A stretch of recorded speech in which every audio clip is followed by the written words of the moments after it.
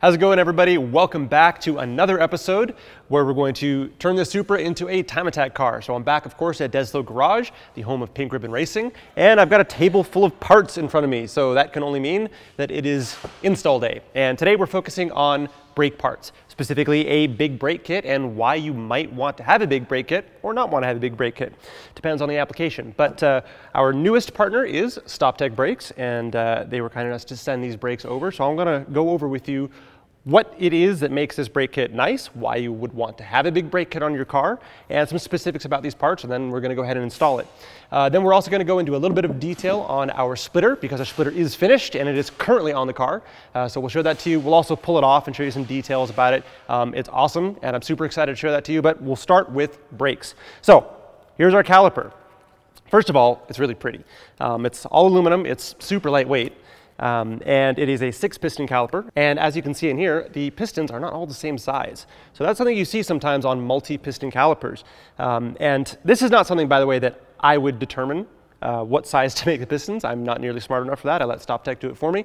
But the reason that you might want to have different size pistons in here is because as that rotor is spinning, the forces that you would want to apply on the different parts of the caliper would not necessarily be exactly the same. So they figured out that for this particular design and size of caliper and this particular design and size of rotor, uh, having these pistons be that specific size that they are is going to give you the most even force and that helps you have the best amount of bite, the most linear response from the brakes and also makes your pads last longer. Speaking of rotors, here's our rotor. So this is a separate rotor and hat design. So you can see we've got two separate pieces of metal here that are bolted together. You can see the bolts are on this side over here. And there's a couple of advantages to using that style of rotor. One is weight. Now, I'm not going to lie to you and say that this thing is super lightweight. It can't be. It's giant. It's going to have some weight to it. But it would be heavier if this was all a one-piece design because this piece in the middle is aluminum. Most normal rotors, these are steel because it's all one big piece of steel. The outer portion pretty much has to be steel unless we're talking about carbon ceramic, but um, so that's going to be heavy, but this is nice and light.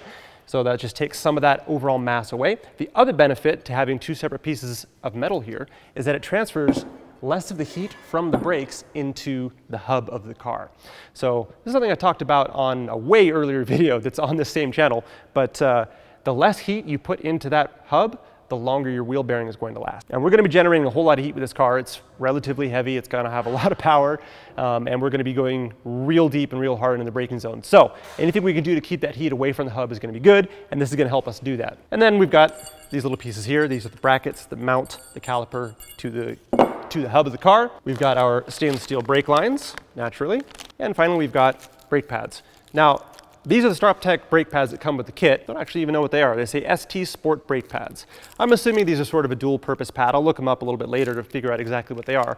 And we're probably going to put them in there and, and try them out, but this isn't necessarily exactly what we're going to want for, for race purposes. So StopTech is really nice about this. They don't say you have to use their pads. We can use whatever pads are going to work best for our specific need. And that's exactly perfect for what we're doing. So these are going to be great for certain people, for certain applications, but we're probably going to want something that can do a little bit higher temp. So we're going to play around with pads a little bit and see what we need. And if you remember in our last video, the paint that we put on the rotor, well, we're going to do the same thing on these, and we're going to figure out what exact temp range we want our pads to be at, and that's how we'll, we will choose exactly which pads go in the car. Okay, so that's what we've got here, but why?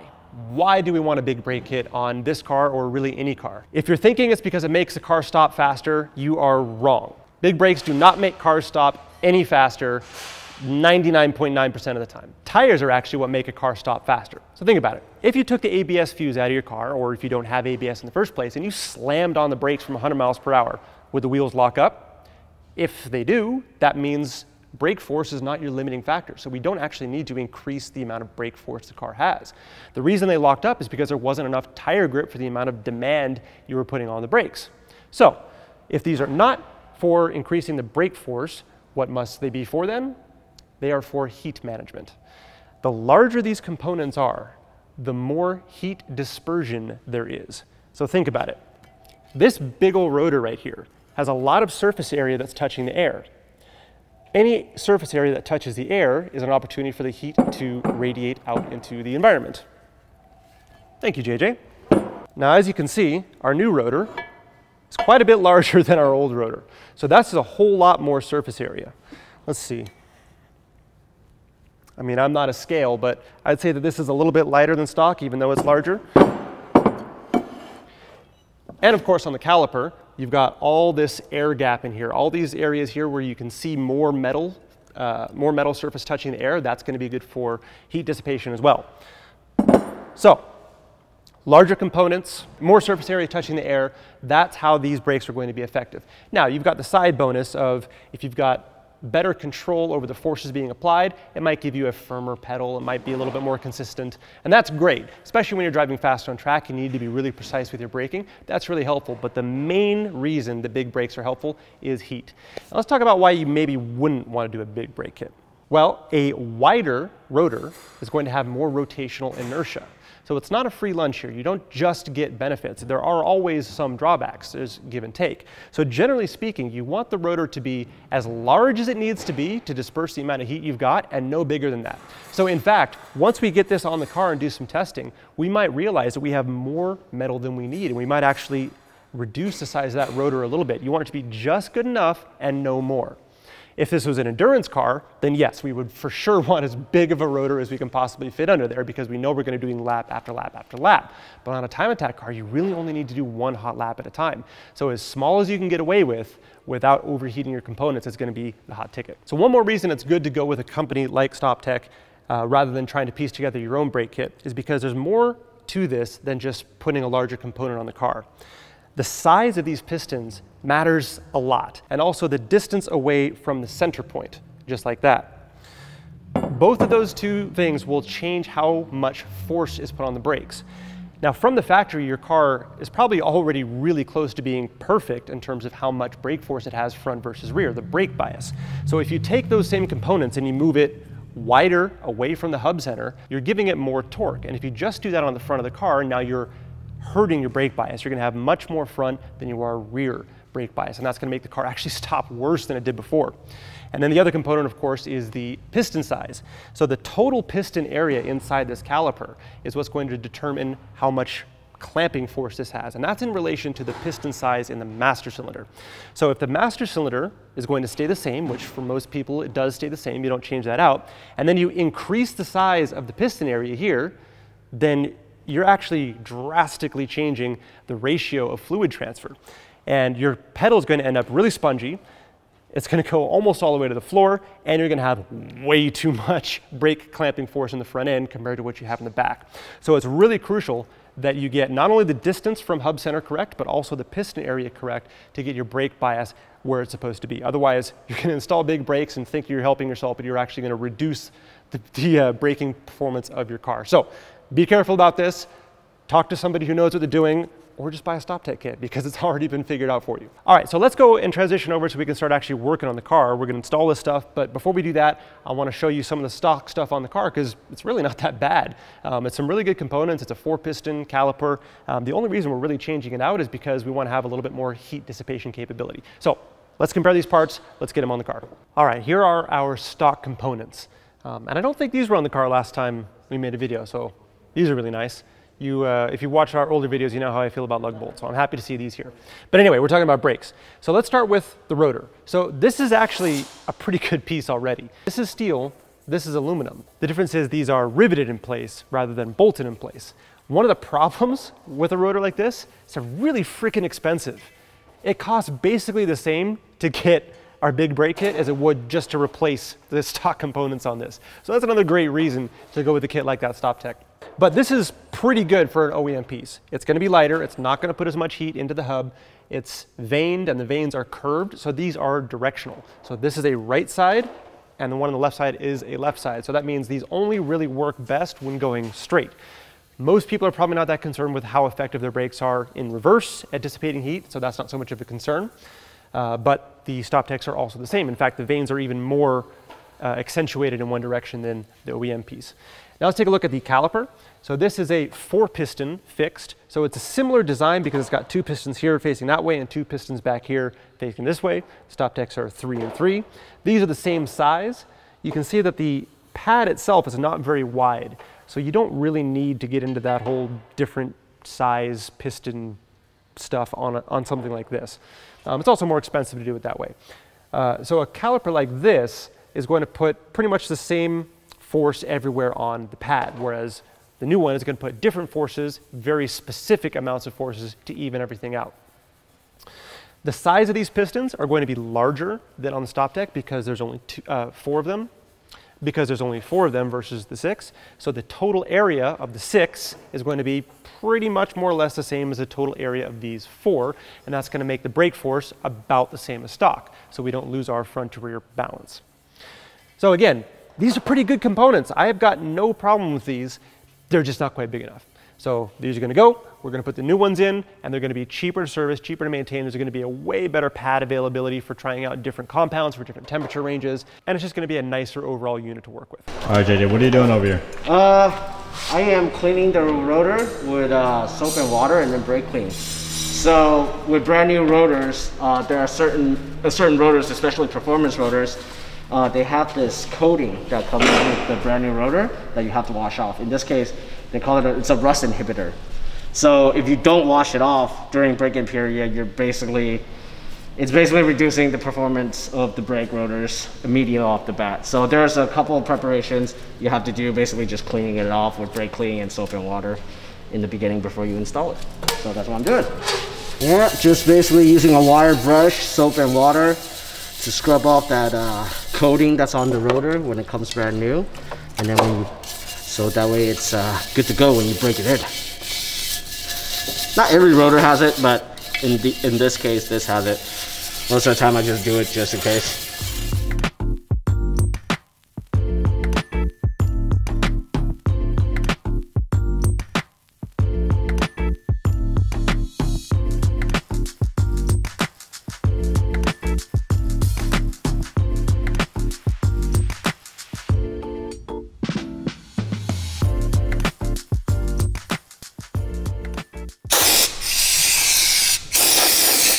Yellow.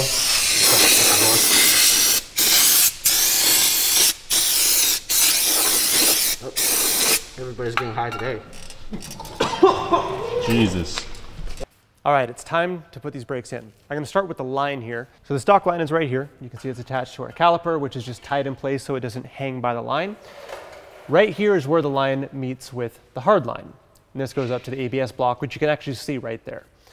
So right here, we're going to disconnect this with line wrenches, and then the line and the caliper will come away. They are filled with fluid, however, so easy, very easy to make a mess. I'll make that JJ's problem as quickly as I can. Um, so just really quickly about the line here. So this is stainless steel with a Teflon coating. That's pretty standard for this sort of thing. Uh, these calipers use banjo bolts, which is this piece right here. You can see there's a hole that goes through it. That's what the fluid goes through inside there and then out through the holes.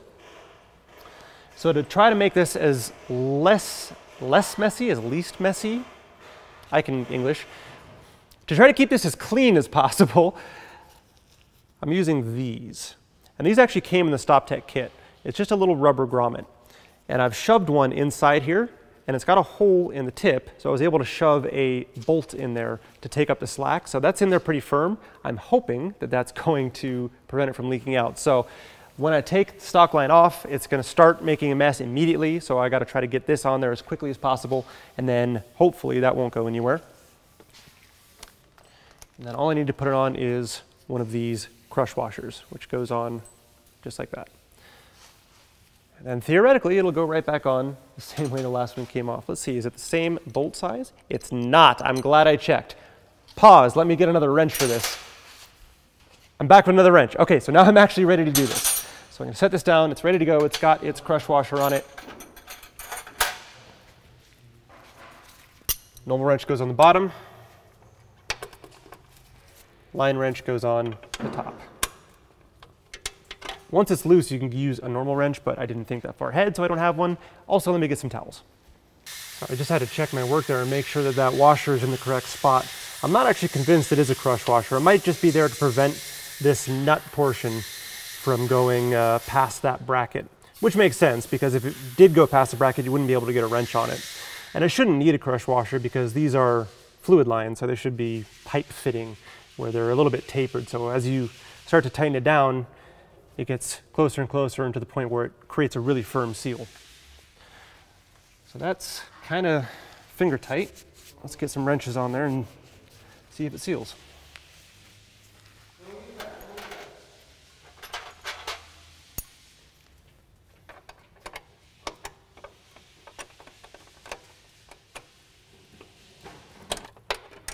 One more thing to consider here is that the, the steel line has sort of a natural bend to it. So you have to make sure that it ends up going the correct direction. If I put this on like 90 degrees or 180 degrees from where it is now, it would end up just pointing off somewhere it's not supposed to be, and then it'd have a difficult time getting back to the caliper. So that's pretty much where I want it to be. Let's finish tightening this down.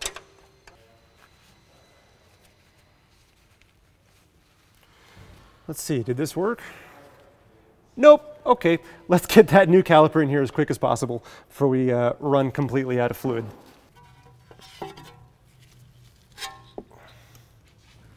JJ, I have a present for you. This is your problem now. Oh, thank you. Congrats. Thank you. Mm-hmm. There you go.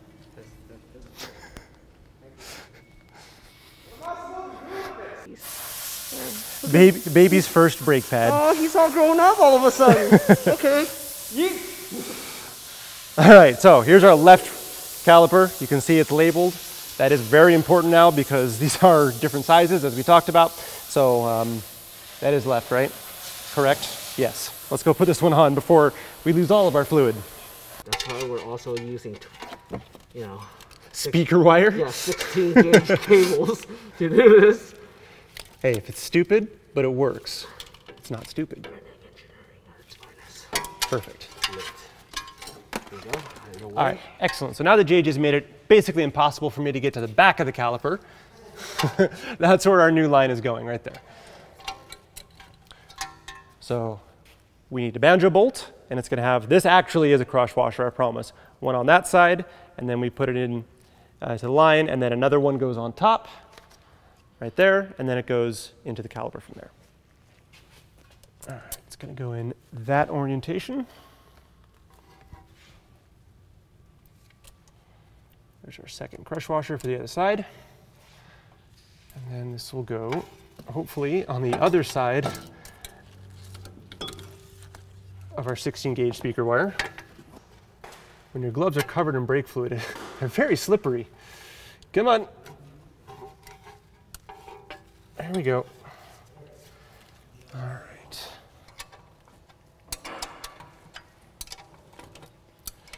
All right, so that's snugged up. That's not obviously the orientation that it's going to stay in, but at least that'll stop the leak for now until we can get some more components in here and orient this properly. So that's fluid-wise anyway, that's the caliper installed. Next we have to put the rotor in, and then those brackets, and then the caliper will install onto those brackets. So cut to that. Here's our bracket, this goes on next. Got to make sure it goes on the right way. It's labeled here, it says rotor side pointing out this way. So that means it's going to install just like that.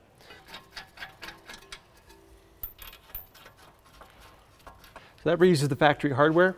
And then these posts here are what the caliper actually bolts onto. After this is bolted on, then we can put the rotor on, then we bolt the caliper on. All right, so let's tighten those down.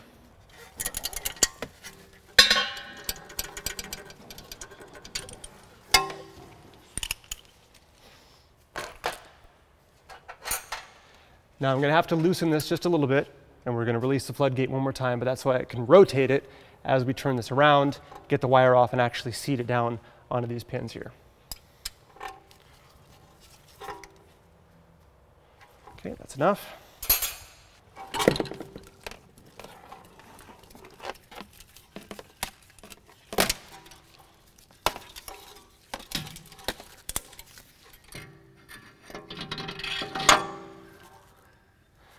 So that's where it's going to sit. So that means the line needs to face right about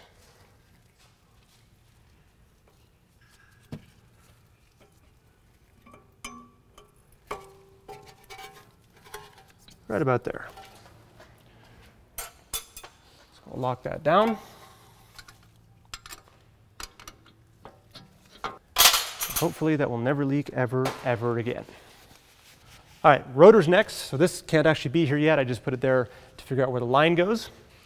This little bolt has to come off, this Allen, that's what holds the rotor in place. And it's gone forever. No.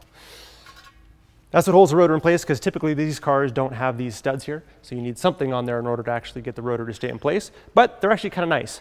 Even if you have studs, the rotor tends to kind of flop around and this holds it exactly where it's supposed to be. Now we play the game where I can see if I can shove this somewhere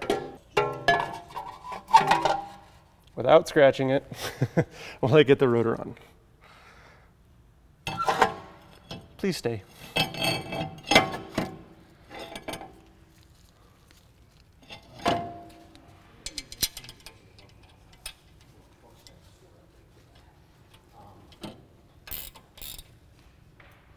That doesn't need to be tight or anything, it just needs to be snug enough to hold the rotor in place. In fact, the tighter you make that, the more impossible it will be to get your rotor off the next time, since heat tends to weld things together. So now that's on, the caliper can go back in place.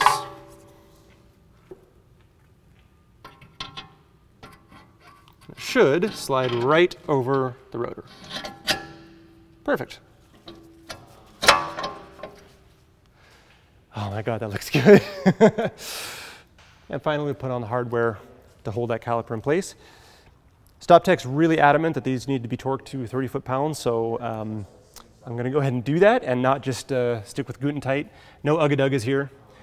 I'll actually do it right.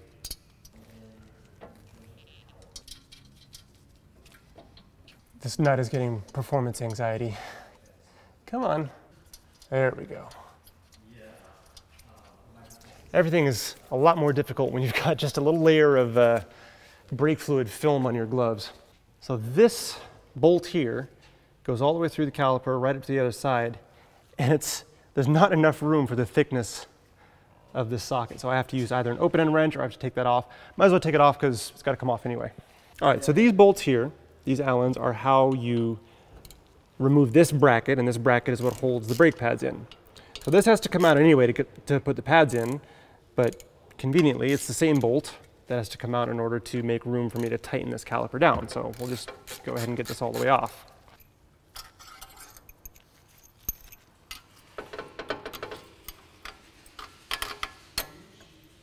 All right, so here's the bracket or the girdle that holds the brake pads in.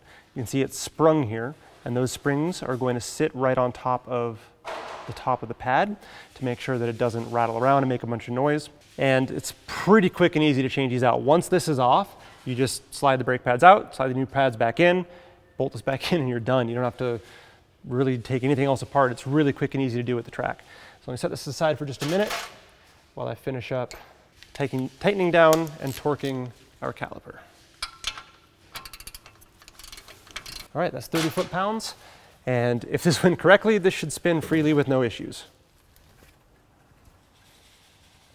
All right, I guess it worked. Uh, let's get some pads in here. All right, here's our pad. Actually, quick update. I thought that we just had the street pads. StopTech actually sent us the race pads too. So these are the SR33, ST Race Friction SR33 pads. So these might even be perfect. We might not, might not even have to change them out. Sounds stupid to say it, but I have a friend, you know who you are, who's put these in wrong many times, so friction surface goes towards the rotor. It just slides in just like that. And then we take our girdle, put it back on top, compress the spring, and slide the bolts through. And you tighten those down and that's really it super fast, super easy to change brake pads. I've had other big brake kits on my other cars, and they're a little more finicky than this. I like the girdle design. That's pretty nice.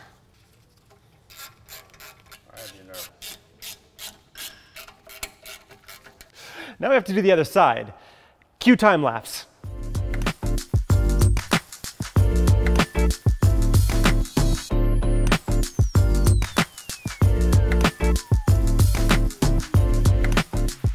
Now that all of our brake components are installed, we have to bleed these things. So being that this is a modern fancy car with a lot of electronics, you can't just bleed it the same way you would an older car. There's a procedure. that involves the engine computer or the chassis computer. So this is all the same as what you would expect. You've got the brake reservoir here. So we're going to fill that up with fluid and obviously we're going to watch it and make sure that it stays topped up. If you look at the caliper here, you have actually two bleeders, one on this side and one on this side, and you have to make sure you bleed both of them. Otherwise you might get an air pocket on one side and then it would be very lopsided and squishy. Um, so that all works like normal, but you have to do it with a scan tool plugged into the car. So Dennis has a scan tool already ready to go. We tested this out. None of us have actually done it before, but we tested it out earlier. Okay, so that noise right there, that's the ABS block activating. So the reason that you have to do this is because if you don't do that, even if you try to bleed all the fluid through, there's still gonna be old fluid in the ABS block. So this actuates the ABS block to make sure all the fluid that is in there gets through so we have race fluid through the entire system and not just in the lines. So Dennis, how does this work? what do we need to do? So pretty much you have to go in and what it does is it activates the ABS unit. Um, that one was just turning it on. So what you're actually supposed to do is bleed certain ones first. It starts from the driver rear and it goes counterclockwise. So here's what we're putting in here. This is a Racing DOT4 fluid. Um, this car probably comes with DOT4 from the factory. Let me see. I don't know where the cap is. Oh, here we go. Let's see. It doesn't say. Let's assume it comes with DOT4 from the factory, but it's probably not going to be a very high temp DOT4. So just like any other parts, brake fluid is a compromise. If it's able to withstand more temperature, then it's not going to last as long because it's, it's going to absorb more moisture from the air. So a higher temp brake fluid, typically you have to change it out more often, but that's okay. It's a race car. We're going to be changing it out all the time anyway.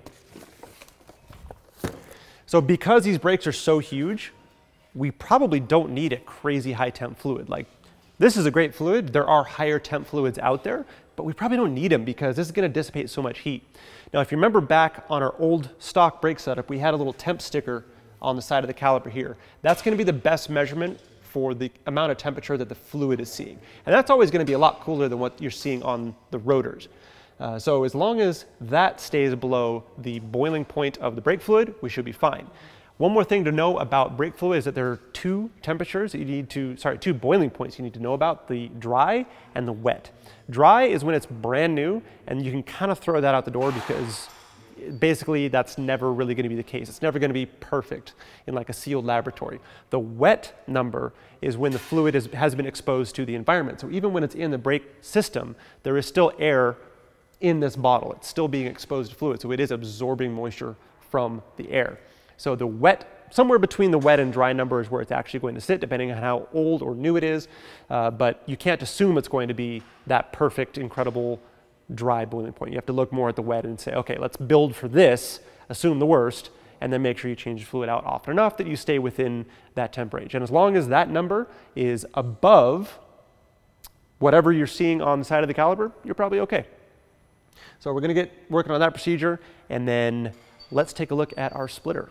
Here is our first test version of our splitter. And this is made now in the actual material that we wanted. This is our carbon honeycomb. It's uh, 8.4 pounds, it's really light. Um, if you pick up a splitter that's made out of more conventional material, it's a whole lot heavier. So this is the kind of thing that you'll see in a lot of higher end race cars. Um, it's pretty hollow. There's a whole bunch of air inside. So all the mounting points underneath, they actually engineered in these firmer, more dense areas so that the bolt can go there and actually have something to clamp to. So that's pretty cool. There's just enough material and no more. We've got this piece here, which is uh, an aftermarket lip, and that's just to get a little bit more height out of it, to get it lower down. Um, and then we've got this piece, which is just temporary. This is just a, a, an aluminum little sheet that we put there to take up the gap. That's what we would call an air dam. So we're actually going to 3D print a part that's going to take this gap up perfectly and look a lot nicer and a lot more flush. You can ignore these white lines. That was just for measurements. It's not going to look like that in the final revision. And then we've also got these pieces here, which uh, Type 6 3D printed specifically for this application. So you can see it's actually three-dimensional there. Um, so it's going to have slightly less drag, I suppose. But the final revision with this whole thing will be 3D printed all the way through here and all the way down there to seal this up entirely. And then when we get further and further into this, we're going to actually make the splitter a little bit larger. So this is gonna be wider out this way.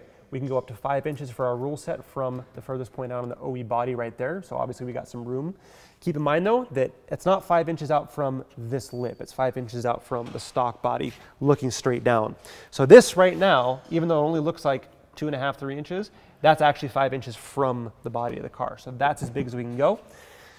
And then underneath it's gonna extend all the way to meet up with the factory under tray pieces. So the rule set says we can only go to the center line of the front wheels, but we didn't even have to go that far because we're meeting up with the factory pieces. So it's bigger than that and within the rules. So that's pretty cool.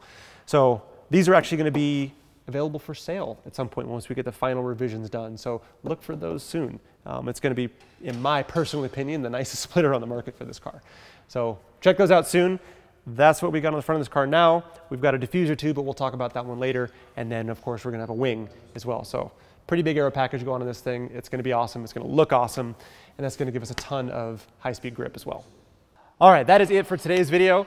Next time we're gonna be covering the wing, the diffuser, and the exhaust. We've already got the downpipe in with no cat. We're gonna do the rest of it all the way out the back. Uh, the muffler we're putting on actually has a valve in it, so we can go from super loud for the track, quiet for the street. If you're liking these videos, make sure you subscribe to Supra Mark 5, hit the bell, get notifications. Um, follow me on Instagram, at Nik Romano Racing, follow Pink Ribbon Racing, Dead Slow Garage, Indotech Motorsports, StopTech Brakes. We'll have a list. we'll have a list in the description below. So follow those, keep up on what we're doing with this car. And geez, there's only like a couple weeks before we're supposed to be competing at Buttonwillow. So uh, we'll definitely be vlogging that process. So you can follow with us and uh, follow us on Instagram. And we'll see you in the next video.